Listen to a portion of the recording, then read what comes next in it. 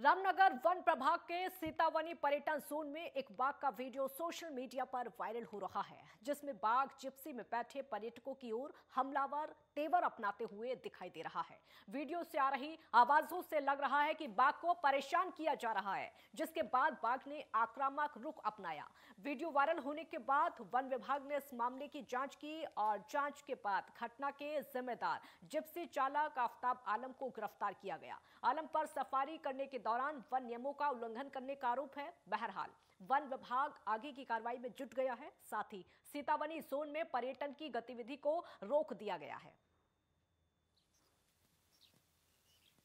कल 26 अप्रैल को एक वीडियो सोशल मीडिया पर वायरल हुआ था, जिसमें यह देखा जा रहा था कि एक बाघ जो है रोड साइड पर एक किसी जिप्सी की ओर आक्रामकता से आया और उस वीडियो में ये भी देखा गया जो, कि जो वाहन चालक है, उस बाघ की तरफ़ वो उसने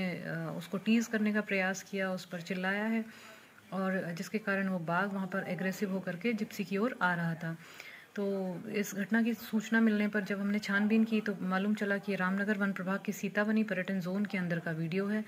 और इसलिए उस वाहन चालक के खिलाफ हमने वन्य जीव संरक्षण अधिनियम की सुसंगत धाराओं में केस दर्ज किया है और आज उसे गिरफ़्तार किया गया और गिरफ़्तार कर उसे न्यायालय में पेश किया गया रामनगर में और जिसके बाद उसे न्यायिक हिरासत में भेजा जा चुका है।